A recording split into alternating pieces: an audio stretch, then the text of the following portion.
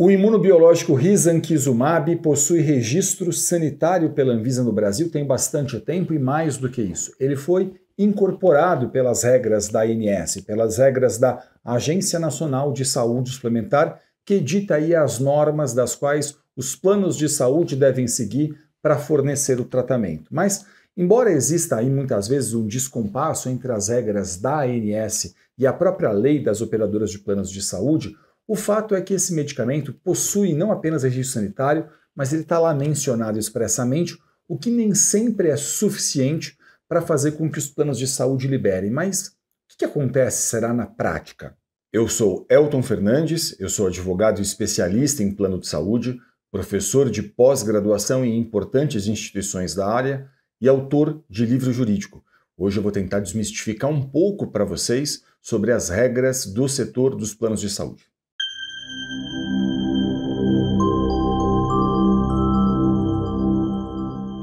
Vou explicar isso aqui para vocês de uma maneira uh, mais técnica, como um, quase um professor de direito, porque essa não é uma matéria muito tranquila de a gente explicar. Vamos lá, vamos pensar o seguinte. O rol de procedimentos da Inés, o que, que é? É a resolução normativa número 465 de 2021. Isso é o que a gente tem como rol de procedimentos da Inés. Então, o anexo 1 diz assim que medicamentos imunobiológicos subcutâneo, intramuscular ou endovenoso têm cobertura obrigatória. Mas é o anexo 2, é essa resolução no anexo 2 que vai estabelecer quais são as condições que o paciente precisa preencher para acessar esse tratamento. Então, o que, que você pode fazer? Depois de terminar esse vídeo, calma ansiedade agora. Você vai fazer o seguinte: você vai entrar na resolução normativa número 465 de 2021 da ANS e você vai procurar o anexo 2 e vai clicar no anexo 2. Quando você encontrar o anexo 2, você vai direto para o item 65 desse anexo. O que, que é o item 65? É justamente onde está listado esse medicamento. É justamente onde a gente vai encontrar menção a esse medicamento. E aí, dentro desse item, você vai ler o seguinte: olha, você vai procurar ali a sua doença Entendendo ali qual é a sua doença, você vai ler a regrinha de cobertura que a ANS estabeleceu para que um paciente possa acessar o tratamento com esse medicamento, ok?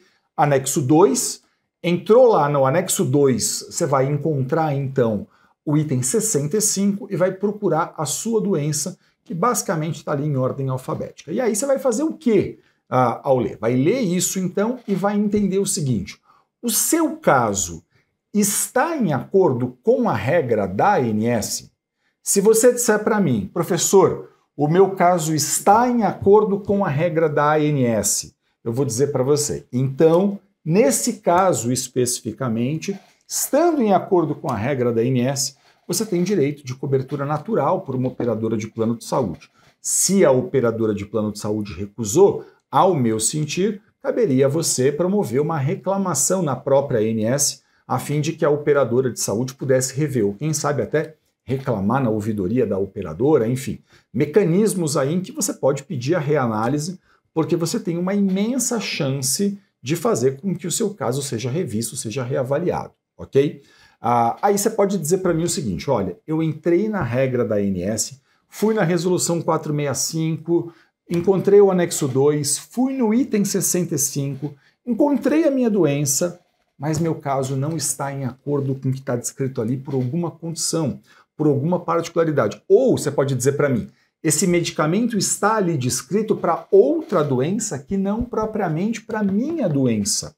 E por isso a operadora de plano de saúde está recusando. Bom, nessa situação especificamente, aí eu entendo o seguinte: vai ser hora de você procurar um advogado experiente, especialista em plano de saúde, para poder te ajudar. Porque esse profissional, ele vai ter que sentar e fazer uma análise concreta a respeito do seu caso. Ele vai ter que fazer ali, entender qual é a doença, qual é a prescrição, a, qual é, por exemplo, o. Uh, vai ter que olhar para a prescrição médica para a doença e vai ter que entender até o seguinte: o que os pareceres técnicos, científicos dizem a respeito disso. Porque essa análise, que às vezes ela até resvala muito é, numa análise técnica médica, vai ser, sem dúvida nenhuma, muito importante para um advogado fazer, para que ele possa saber como ele vai te ajudar. O que um advogado pode, numa situação como essa, fazer? Eu digo isso dentro da pós-graduação. Ele pode, por exemplo, primeiro, formalizar junto com você uma reclamação na INS, formalizar junto com você uma reclamação no plano de saúde, se você quiser. Se o seu caso, por exemplo, está em acordo com a regra da INS, né? Porque a gente pode pensar o seguinte: de acordo com a regra da INS, compete à INS fiscalizar. Elton, não, meu caso não está em acordo com a regra da INS. Bom, então esse advogado que eu mencionei, ele vai ter que fazer uma análise mais técnica, mais científica sobre a prescrição para saber, por exemplo, tem indicação técnica na bula? Não está na bula, mas está em acordo com a ciência? Essa análise é absolutamente essencial a você. Por que, que eu acho importante que você faça isso? É porque, veja, a lei dos planos de saúde atualmente, a lei 9656 de 98, ela diz que, mesmo não estando, se um procedimento ou um tratamento não está em acordo com o rol de procedimentos da INS, mas está em acordo com a ciência, a operadora de plano de saúde deverá custear o tratamento. Veja, a lei chega a usar essa expressão, deverá, ok? Essa não é uma expressão que eu estou aqui utilizando sem que eu tenha pego ela de dentro da regra. Então, notem o seguinte: é, mesmo fora dessas condições estabelecidas pela ANS, mesmo que um tratamento, um procedimento não esteja exatamente em acordo com o rol de procedimentos da ANS, a lei ela está fazendo uma expressa menção de que, se não estiver no rol, mas estiver em acordo com a ciência, a operadora de plano de saúde deve fazer a autorização disso. De modo que o que a gente percebe muitas vezes é que, claro, as operadoras de planos de saúde elas continuam entendendo que elas só cobrem aquilo que está em acordo com o rol da ANS, mas a gente também precisa lembrar aqui que o rol de procedimentos da INS é uma regra inferior à lei e que, claro, sempre que houver então um descompasso entre o rol e a lei, a lei é superior a esse rol de procedimentos. Na prática, então, a gente percebe que há um descompasso entre o rol de procedimentos da INS e a lei em inúmeros casos. E a partir daí, o que fazer? Nessa situação, um advogado especialista em plano de saúde vai poder analisar o seu caso e ele vai poder, então, a partir dessa análise, entender o seguinte: se está em acordo com a regra da INS, ele pode, ele mesmo, inclusive, ajudar você a formalizar a reclamação dentro da INS. Essa é uma prerrogativa que o advogado tem, que esse profissional possui.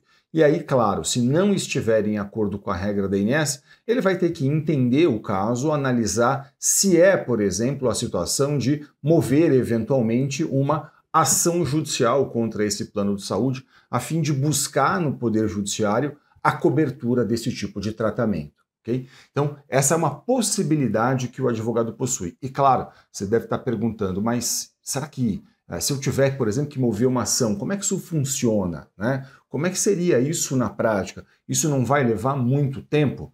Deixa eu explicar um pouquinho para vocês essa questão. Olha, a ação judicial é um procedimento. Esse procedimento, por exemplo, ele pode ser feito com um pedido de liminar. O que é um pedido de liminar? Né? Um pedido de liminar é uma, um requerimento que você faz a um juiz pedindo que ele determine desde logo, desde o começo do processo, o fornecimento do tratamento que aquela pessoa precisa. Então, por exemplo, se você demonstra para um juiz que existe um direito e uma urgência, o que, que o juiz pode fazer? Ele pode determinar desde logo o fornecimento daquilo que você está fazendo o pedido. Então, ele olha para o caso, ele sabe que um processo vai ser longo, e bem porque o juiz sabe que um processo vai ser longo, muitas vezes ele vai poder dizer o quê? Olha, estou entendendo que nesse caso, esse beneficiário aqui ele não pode esperar o final do processo para poder usufruir desse direito. Então, em, entendendo que existe direito e que existe urgência, ele pode então determinar essa liminar, ele pode conceder essa ordem liminar a fim de que a pessoa possa usufruir desse direito logo no começo do processo. Ele pode fazer isso a qualquer momento né, a qualquer momento da ação judicial, mas é mais comum, por exemplo, que haja essa análise desde logo, desde o começo, a fim de que, demonstrando que existe direito, demonstrando que existe urgência, que seu caso está em acordo com a lei, que o relatório médico faz a indicação clara de que há uma urgência, de que o caso está em acordo com a ciência, por exemplo, ele possa então fazer a determinação disso. E note, esse processo hoje em todo o Brasil é inteiramente eletrônico. Então, assim, do Iapoque ao Chuí, não importa onde você esteja, um processo judicial é inteiramente eletrônico. Imagina que você mora na cidade de São Paulo e você vai conversar com um advogado de São Paulo. Esse profissional vai mover uma ação judicial eletrônica. Hoje existem até audiências que são feitas uh, de forma eletrônica, embora nesses processos especificamente que envolvem plano de saúde, é incomum que haja a necessidade de uma audiência. Pode haver a necessidade de outras questões, outras provas dentro do processo, mas audiência, participação de audiência, não. Em geral, isso não é feito, mas, claro, é sempre muito importante que você converse com um profissional especialista em plano de saúde, a fim de que esse profissional possa analisar as particularidades do seu caso, entender se cabe ou não, qual o caminho vai percorrer, se entender que cabe, e esse profissional vai poder orientar você em acordo com as especificidades do seu caso. Você vai poder dizer para mim eventualmente, mas eu não conheço ninguém que seja especialista nisso. Veja, deixa eu falar uma coisa para vocês. Hoje, essa consulta com seu advogado pode ser feita até de forma online. E eu tenho muito orgulho de dizer para vocês que em todo o Brasil, nas pós-graduações em que eu leciono, a gente forma profissionais cada vez mais capacitados, especialistas nisso, capazes de olhar profissionalmente para uma questão como essa, capazes de fazer uma análise cuidadosa de um caso, a fim de poder entender quais são as possibilidades que a gente tem, quais são os caminhos que vão ser percorridos. Então, se você não conhece um profissional aí da sua cidade, por exemplo, você pode buscar isso pela internet, fazer isso online com um profissional, não tem problema nenhum, até porque, como eu mencionei para vocês, um processo que, se, que, que eventualmente tenha que ser movido um processo, essa ação será eletrônica, tudo correrá eletronicamente. Então, não importa se você está numa cidade e seu advogado está na outra cidade, se você está num estado e seu advogado está muito distante de você, porque tudo isso pode ser feito hoje de forma online e eu tenho muito orgulho de poder dizer que em todo o Brasil a gente forma nas pós-graduações em que eu leciono profissionais muitíssimo capacitados para lidar com esse tipo de questão. Então, eu sugiro muito que você converse sempre com profissionais especialistas nesse tema. Eu espero que esse vídeo tenha sido útil a você. Muito obrigado pela sua audiência. Se ficou qualquer dúvida, deixe um comentário aqui no canal. Para a gente é sempre um grande prazer poder ajudar, interagir, tirar dúvidas e, claro, não deixe de acompanhar a gente nas redes sociais. Muito sucesso para você e saúde. Até o próximo vídeo.